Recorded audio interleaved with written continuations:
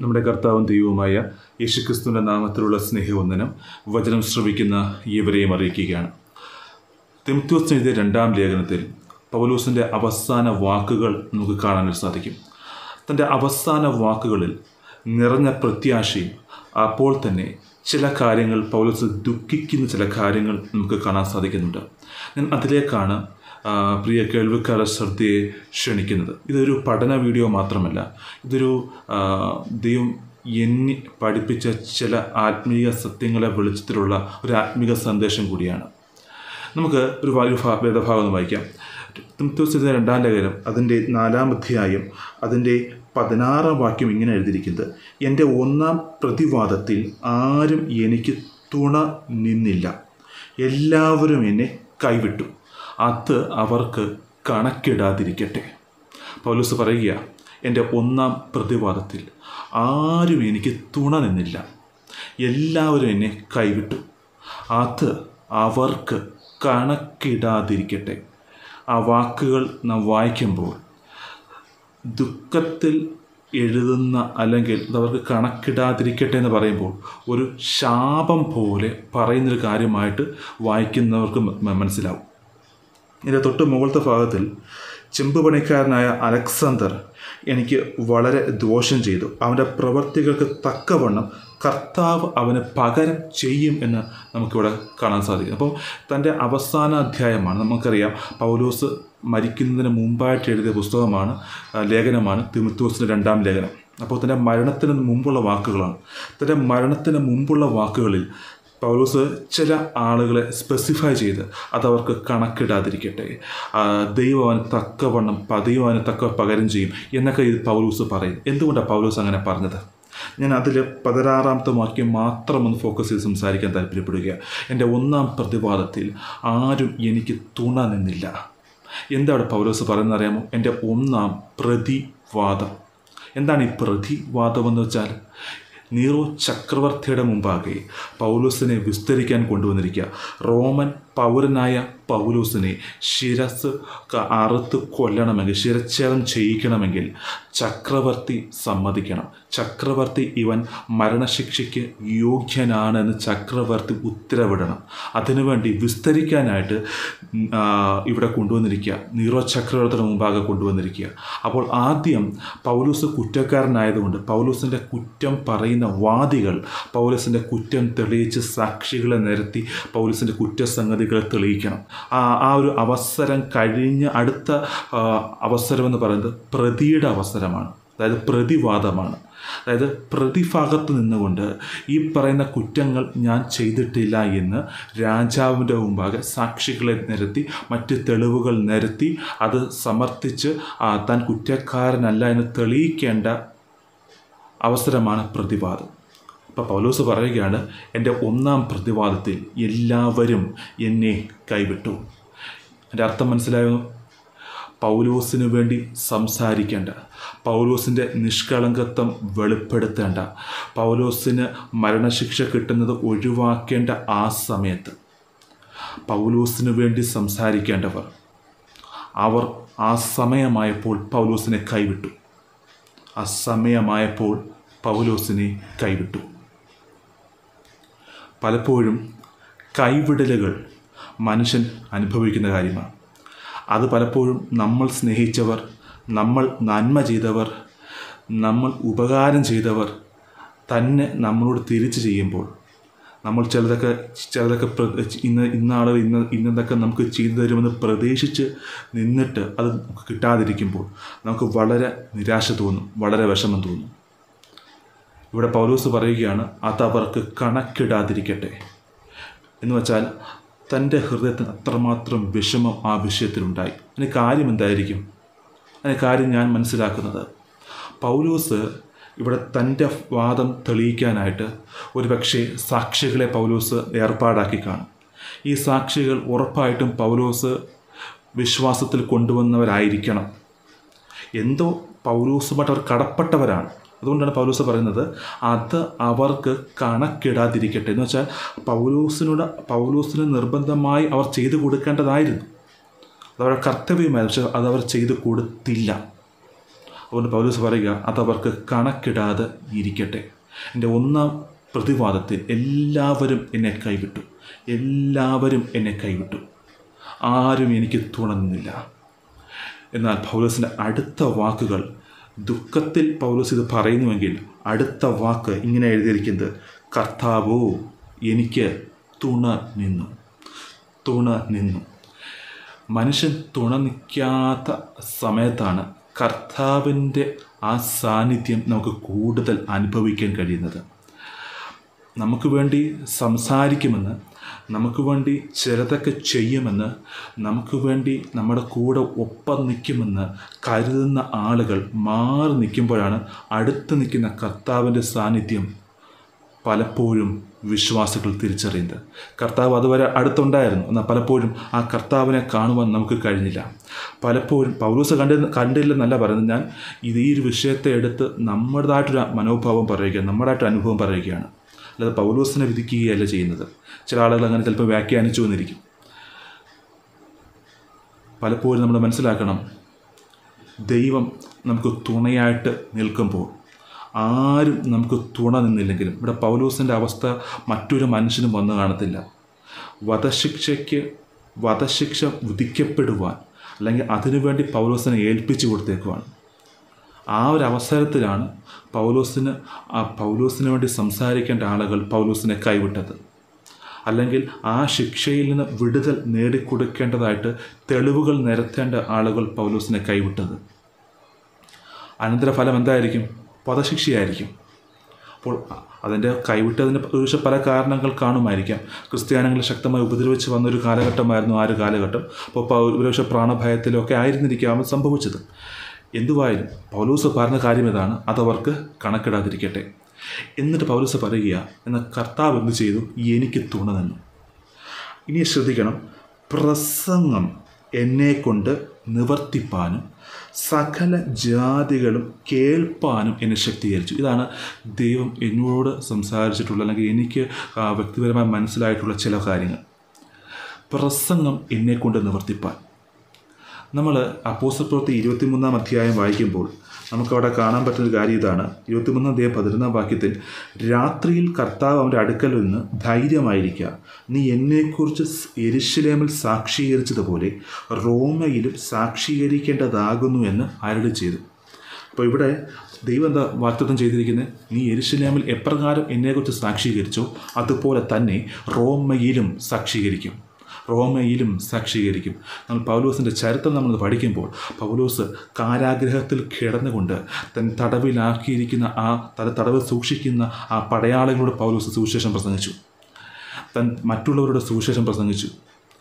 ഇപ്പോൾ പൗലോസ് രാജാവിനോട് ചക്രവർത്തിയോട് Roman എംബറോട് Roman ഒരു- ഒരു സാധാരണ ചക്രവർത്തിയല്ല ഏതെങ്കിലും ദേശത്തിന്റെ രാജാവല്ല റോമൻ എംബറോട് താൻ സുവിശേഷം പ്രസംഗിച്ചു. എപ്പോഴാ? ഒന്നാം പ്രതിവാദത്തിൽ അതാണ് ഇവിടെ നമ്മൾ വായിച്ചു കേട്ടത്. പ്രസംഗം പൂർത്തീകരിച്ചു. പ്രസംഗം പൂർത്തീകരിച്ചു. ദൈവം ഒരു ശുശ്രൂഷ ഏൽപ്പിച്ചിട്ടുണ്ടെങ്കിൽ കൃപാവരം ജ്ഞാനത്തിന്റെ വചനം പരിജ്ഞാനത്തിന്റെ വചനം അതുപോലെ മറ്റ് ശുശ്രൂഷകൾ ദൈവം ഏൽപ്പിച്ചിട്ടുണ്ടെങ്കിൽ ആ പ്രസംഗം പൂർത്തീകരിക്കുവാൻ ഏൽപ്പിച്ച ദൈവം അതിന് അത് വേണ്ടത് ചെയ്തുകൊള്ളും. പൗലോസിനെ ദൈവം ഏൽപ്പിച്ചതാണ് റോമയിൽ പോയി ഇപ്പോൾ പറയുമെന്ന്. മനുഷ്യനെ ഏൽപ്പിച്ചതല്ല. ദൈവം ഏൽപ്പിച്ചതാണ് റോമയിൽ പോയി പറയുമെന്ന്. അത് രാജാവിന്റെ മുമ്പാകെ അത് പൂർത്തീകരിച്ചു. ഒന്നാം പ്രതിപാദത്തിൽ രാജാവിന് എല്ലാവരും കൈവിട്ടപ്പോൾ ഞാൻ ചിന്തിക്കുന്നത് ഒരു പക്ഷേ പൗലോസിന് വേണ്ടി സംസാരിക്കാൻ ചില ആളുകൾ അവിടെ വന്നിരുന്നുവെങ്കിൽ പൗലോസിന് സംസാരിക്കേണ്ട സമയം കൂടെ അവർ ഒരു ഒരു പക്ഷേ എടുക്കുമായിരുന്നു. പൗലൂസിന് പൗലൂസിന് തന്റെ ഭാഗം പല പക്ഷേ കുറച്ച് സമയം കിട്ടത്തുള്ളൂ. നമ്മൾ ഈ റോമൻ അവരുടെ ആ വിസ്താര രീതിയെക്കുറിച്ച് പഠിക്കുന്ന സമയത്ത് നമുക്ക് മനസ്സിലാവുന്നത് രാജാവ് ഒരു സമയം ആദ്യം വാദികൾക്ക് അനുവദിക്കും. അത് കഴിഞ്ഞ് പ്രതിഭാഗത്തിന് രാജാവ് മറ്റൊരു സമയം അനുവദിക്കും. ഈ സമയത്തിനകത്ത് ഈ കാര്യങ്ങൾ തീർപ്പാക്കുകയും അടുത്തത് രാജാവ് വിധി പുറപ്പെടുവിക്കുകയും ചെയ്യും. ഇങ്ങനത്താണ് അവരുടെ രീതി. അപ്പോൾ അനുവദിച്ചിരിക്കുന്ന സമയത്തിനകത്ത് എന്ത് ചെയ്യണം? താൻ കുറ്റക്കാരനല്ല എന്ന് പൗലൂസ് തെളിയിക്കണം. ഒരുപക്ഷെ പൗലൂസ് ആശ ആശ്രയിച്ചിരുന്ന അല്ലെങ്കിൽ പൗലൂസ് തനിക്ക് വേണ്ടി സംസാരിക്കാൻ കടന്നു വരും എന്ന് കരുതിയിരുന്ന ആളുകൾ ഒരുപക്ഷെ കടന്നു വന്ന് പൗലൂസിന് വേണ്ടി സംസാരിച്ചിരുന്നുവെങ്കിൽ പൗലൂസിന്റെ തന്നെ സുവിശേഷ പ്രസംഗം ഒരുപക്ഷെ വളരെ കുറച്ച് സമയം കൊണ്ട് പ്രസംഗിച്ച് നിർത്തേണ്ടി വരുമായിരുന്നു. എന്നാൽ പൗലോസിന് രാജാവിന്റെ മുമ്പാകെ പ്രസംഗം പൂർത്തീകരിക്കാനിടയായി. നമ്മളവിടെ ഇങ്ങനെയാണ് നമുക്ക് അത് വായിക്കാൻ വായിക്കാൻ സാധിക്കുന്നത്. സകല ജാതികളും അത് കേൾപ്പാൻ ആയിട്ട് ഇടവന്നു. നാലാം അധ്യായം അതിന്റെ പതി പതിനേഴാമത്തെ വാക്യത്തിന്റെ അവസാന ഭാഗം സകല ജാതികളും കേൾപ്പാനും എന്നെ ശക്തീകരിച്ചു.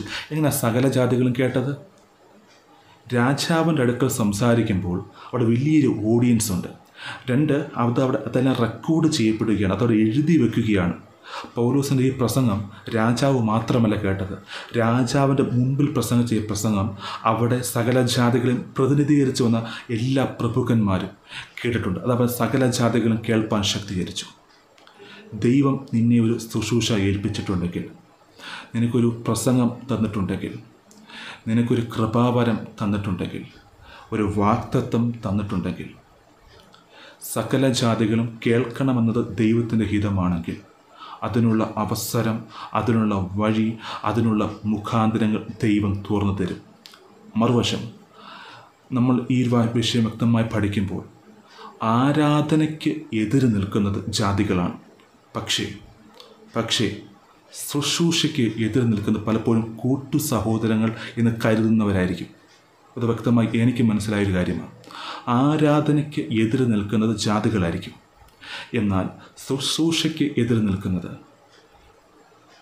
സാത്താൻ ചില ഒരുപക്ഷെ നമ്മൾ നമ്മോടൊപ്പം നിൽക്കും എന്ന് കരുതുന്ന ആളുകൾ കൂടിയായിരിക്കും പ്രവർത്തിക്കുന്നത്. അതിന് കാരണം എന്താണെന്ന് വെച്ചാൽ ഇന്ന വ്യക്തിയുടെ ശുശ്രൂഷയിലൂടെ ഇന്ന ആളുകളൊക്കെ വിടുവിക്കപ്പെടുമെന്ന് സാത്താൻ മനസ്സിലാക്കിയാൽ അവന്റെ ശുശ്രൂഷ ആ സ്ഥലത്ത് വെളിപ്പെടാതിരിക്കാൻ അവന്റെ ശുശ്രൂഷ അവിടെ നടക്കാതിരിക്കാനുള്ള പരിപാടി സാത്താൻ ചെയ്യും. അതിന് സാത്താൻ പലപ്പോഴും കയ്യിലെടുക്കുന്നത് അത് വിശ്വാസികൾ എന്ന് പറയുന്നവർ തന്നെയാണ്. അവിശ്വാസികളെയല്ല എന്നാൽ ഒരു സ്ഥലത്ത് ആരാധന വെളിപ്പെടുമ്പോൾ ഒരു സഭ ആരംഭിക്കുമ്പോൾ ആ സഭയ്ക്കെതിരായിട്ട് ആരാധനയ്ക്കെതിരായിട്ട് പലപ്പോഴും എഴുന്നേൽക്കുന്നത് വിശ്വാസികളായിരിക്കത്തില്ല ജാതികളായിരിക്കും. മൂന്നാമത്തൊരു കാര്യമുണ്ട്. ഒരു സഭ ശക്തമായിട്ട് മുന്നോട്ട് പോകുമ്പോൾ ആ സഭയെ പുറത്തു നിന്നുള്ള അറ്റാക്കാൽ അല്ലെങ്കിൽ പുറത്തു നിന്നുള്ള ഒരു ആക്രമണത്താൽ നശിപ്പിക്കാൻ കഴിയാതെ വരും എന്ന് സാത്താൻ മനസ്സിലാക്കിയാൽ സദാർത്ഥ ചെയ്യുന്നവർ അകത്ത് ഭിന്നത കൊണ്ടുവരിക എന്നുള്ളതാണ്. ഇതിന് മൂന്ന് വിധത്തിലുണ്ട്. ഞാൻ ആദ്യത്തെ ഭാഗം മാത്രം പറഞ്ഞ് നിർത്താം. പൗലൂസിനെ ദൈവം പ്രസംഗം ഏൽപ്പിച്ചെങ്കിൽ ആ പ്രസംഗം പൂർത്തീകരിക്കുവാനും ദൈവം ശക്തനാണ്.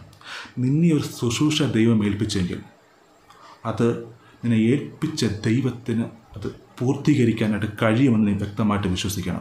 അതിനെ എതിർക്കുന്ന മനുഷ്യരുണ്ടാവും. അതിനെ എതിർക്കുന്ന കൂട്ടു സഹോദരങ്ങളുണ്ടാവും. അതിനെതിരെ പാരവയ്ക്കുന്ന ആ വാക്ക് തന്നെ ഉപയോഗിക്കുന്നതാണ് നല്ലത്. പൗലോസിന് ഒരു സമയത്ത് ഞാൻ അതിശ്രേഷ്ഠതയുള്ള അപ്പോസ്തലന്മാരെക്കാൾ ഒട്ടും കുറഞ്ഞവനല്ല എന്ന് തെളിയിക്കേണ്ടതിന് തന്റെ ശ്രേഷ്ഠ ഗുണങ്ങൾ അക്കമിട്ട് പറയേണ്ട ഒരു ഗതികേടുണ്ടായി. ഞാൻ ആ ഗതികേടെന്നേ പറയത്തുള്ളൂ. എന്തുകൊണ്ടാണ് അതുണ്ടായത്? പൗലോസിന്റെ അപ്പോസ്തലത്തെ ചോദ്യം ചെയ്യുന്ന ചില കപടന്മാർ എഴുന്നേറ്റത് കൊണ്ടാണ്. അവരുടെ മുമ്പാകെ പൗൽസൻ തെളിയിക്കേണ്ടതായിട്ട് വന്നു. താൻ ഓരോന്ന് അക്കമിട്ട് പറയുകയാണ്. താൻ അതിശ്രേഷ്ഠതയുള്ള അപ്പോസ്തലന്മാരാക്കൾ ഒട്ടും കുറഞ്ഞവനല്ല എന്ന് താൻ അക്കമിട്ട് അക്കമിട്ട് തെളിയിക്കുകയാണ്. പ്രിയ പൗലൂസിനെ പൗലോസിനെ മനുഷ്യൻ കൈവിട്ടുവെങ്കിൽ മനസ്സിലാക്കുന്ന സാധാരണ മനുഷ്യനായിരിക്കത്തില്ല പൗലോസ് വിശ്വാസത്തിൽ കൊണ്ടുവന്നവർ തന്നെയായിരിക്കണം. അവർ പൗലോസിനോട് കടപ്പെട്ടവർ പൗലോസിനെ സഹായിക്കേണ്ട സമയത്ത് സഹായിക്കാതിരുന്നുവെങ്കിൽ നമ്മളെയൊക്കെ മനുഷ്യൻ കൈവിടുന്നതിൽ അതിശയിക്കേണ്ട കാര്യമില്ല. പക്ഷേ അവിടെ സംഭവിക്കുന്ന മറ്റൊരു കാര്യം ആ സമയത്താണ് ദൈവത്തിന്റെ സാന്നിധ്യം. ദൈവം എത്രമാത്രം നമ്മളെ സ്നേഹിക്കുന്നുവെന്ന് ദൈവം എത്രമാത്രം നമുക്ക് തുണ നിൽക്കുന്നുവെന്ന് യേശുക്രിസ്തുവിന്റെ മന്ദമായ സ്വരം. നമ്മുടെ ഹൃദയത്തിൽ കേൾക്കുവാൻ നമ്മുടെ കണ്ണുകൊണ്ട് അതിന്റെ ഫലം കണ്ണുകൊണ്ട് കാണുവാൻ ഇടയാവുന്നത് ആ സമയത്താണ്. ആ തകർച്ചയുടെ സമയത്താണ്. മനുഷ്യൻ കൈവിട്ടു എന്ന് കരുതുന്ന ആ തകർച്ചയുടെ സമയത്ത്. ഇനി എനിക്ക് രക്ഷയില്ല എന്ന് ചിന്തിക്കുന്ന മനുഷ്യരാൽ രക്ഷയില്ല എന്ന് ചിന്തിക്കുന്ന ആ തകർച്ചയുടെ സമയത്താണ് ദൈവത്താലുള്ള രക്ഷ നമ്മുടെ കണ്ണിന്റെ മുമ്പിൽ വെളിപ്പെടുന്നത്. രണ്ടാമത്തെ കാര്യം പ്രസംഗം പൂർത്തീകരിച്ചു. പ്രസംഗം പൂർത്തീകരിച്ചു. സാത്താൻ നിനക്കെതിരെ വാദിക്കും. നിന്നെ ഏൽപ്പിച്ച ശുശ്രൂഷ പൂർത്തീകരിക്കത്തില്ല. പ്രസംഗം പൂർത്തീകരിക്കത്തില്ല. നിന്റെ മേലുള്ള വാക്തത്വം നീ എരിശിലേമിൽ പറഞ്ഞതുപോലെ റോമയിലും പറയുമെന്നാണ്. റോമലിന്റെ വായടച്ചു വെക്കുമെന്നല്ല. നിന്നെ സപ്പോർട്ട് ഞാൻ കുറച്ച് പേർ ഇല്ലാത്തത് കൊണ്ട് റോമയിൽ നീ മിണ്ടാതിരിക്കുന്നില്ല എരിശേമിൽ സാക്ഷീകരിച്ചതുപോലെ റോമയിലും സാക്ഷീകരിക്കുമെന്നൊരു വാക്തത്വം പൗലൂസിന്റെ മേലുണ്ടെങ്കിൽ ആ വാക്തത്വം നിവൃത്തിയായിരിക്കും. കാരണം വാക്തത്വം പറഞ്ഞവൻ ഏതെങ്കിലും ഒരു കള്ളപ്രവാചകനല്ല. വാക്തത്വം പറഞ്ഞവൻ ഏതെങ്കിലും വാക്കുമാറുന്ന മനുഷ്യനല്ല. വാക്തത്വം പറഞ്ഞവൻ ഏതെങ്കിലും ഒരു ലോകത്തിന്റെ അധിപതിയല്ല.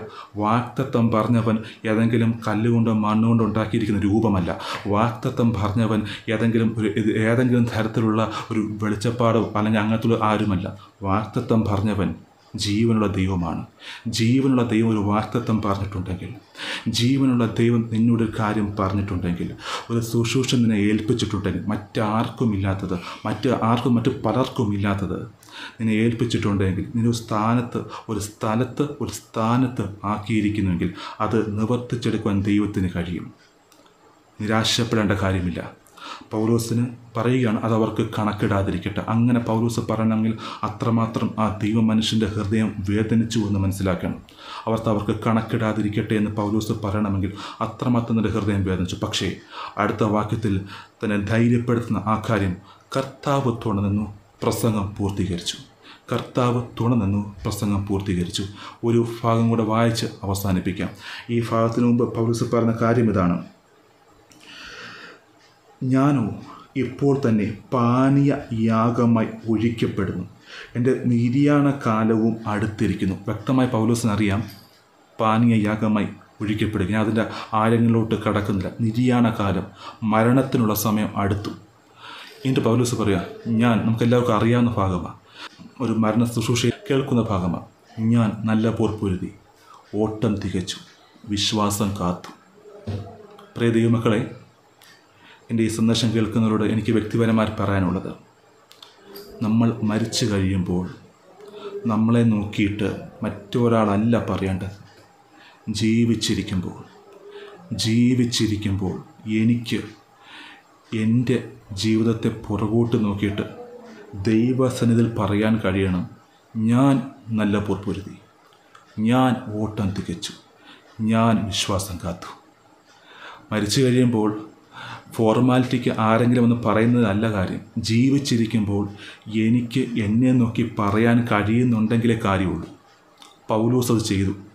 പൗലൂസ് മരിച്ചതിന് ശേഷം മറ്റൊരാൾ പൗലൂസിനോട് പറയുകയല്ല. പൗലൂസ് തന്റെ മരണസമയമായെന്നറിഞ്ഞപ്പോൾ പൗലൂസ് തന്റെ ജീവിതത്തിലെ പുറകിലോട്ട് നോക്കുമ്പോൾ പൗലൂസ് എഴുതുക ഞാൻ നല്ല പൊരുതി പൊരുതിയാലെ പൊരുതി എന്ന് പറയാൻ പറ്റൂ. ഓട്ടം തികച്ചു. ദൈവം ഏൽപ്പിച്ച എല്ലാ കാര്യങ്ങളും പൗലോസ് ഭംഗിയായി പൂർത്തീകരിച്ചു തികച്ചു. വിശ്വാസം കാത്തു. തന്റെ വിശ്വാസത്തിൽ നിന്ന് പൗലോസ് ഒരു അടി പോലും പുറകോട്ട് പോയില്ല. മറ്റുള്ളവർ കുറ്റം പറഞ്ഞത് കേട്ടിട്ടോ? മറ്റുള്ളവർ കൈവിട്ടത് കൊണ്ടോ? മറ്റുള്ളവർ അപ്പോസ്തത്തെ ചോദ്യം ചെയ്തപ്പോഴോ? ഒന്ന് കുറേ നാൽപ്പതടി പലവട്ടം താൻ പൗലോസ് ശരീരത്തിൽ ഏറ്റിട്ടുണ്ട്. അഞ്ചിൽ കുറയാതെ പൗലോസ് ശരീരത്തിൽ ഏറ്റിട്ടുണ്ട്. അങ്ങനെ അടി കൊണ്ടപ്പോഴോ? കല്ലെറിഞ്ഞ് പൗലോസ് മരിച്ച വിധത്തിലായ സമയത്തോ ഇങ്ങനെ പല കാരാഗ്രഹത്തിൽ പലവട്ടം കാരാഗ്രഹത്തിലായ സമയത്തോ ഒരിക്കൽ പോലും പൗലോസ് വിശ്വാസത്തിൽ നിന്ന് പുറകോട്ട് പോയില്ല. എന്റെ വാക്കുകളെ ചുരുക്കട്ടെ. ദൈവമക്കളെ ദൈവം ഒരു വാക്തത്വം പറഞ്ഞിട്ടുണ്ടെങ്കിൽ ആ വാക്തത്വം ദൈവം നിവർത്തിച്ചിരിക്കും. ഒരു ശുശ്രൂഷ ദൈവം ഏൽപ്പിച്ചിട്ടുണ്ടെങ്കിൽ ആ ശുശ്രൂഷയ്ക്ക് അനു അനുസരിച്ച് നാം ജീവിക്കാൻ തയ്യാറായ ആ ശുശ്രൂഷ ദൈവം ഈ നമ്മളെ ഏൽപ്പിച്ച ശുശ്രൂഷ ഈ ഭൂമിയിൽ ദൈവം നിവർത്തിച്ചിരിക്കും.